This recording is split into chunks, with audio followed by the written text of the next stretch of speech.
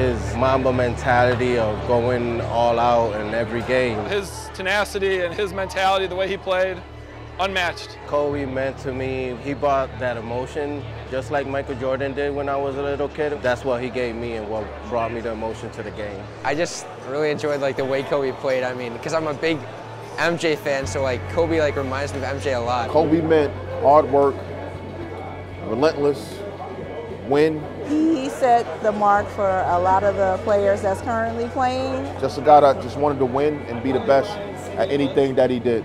He was a true definition of a hard worker and he was a true family man. I love the relationship that he had with his young daughter Gigi, teaching her the game of basketball and the fundamentals. Me being an educator, this is what I'm teaching and pushing more so now. Work ethics. Kobe was relentless. He never gave up.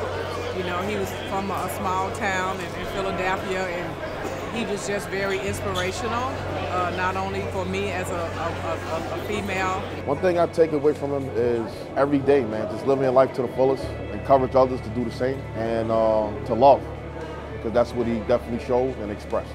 He was my superhero, you know what I mean? Like, kids shouldn't have to see their, their superheroes go down. Without him, I don't know.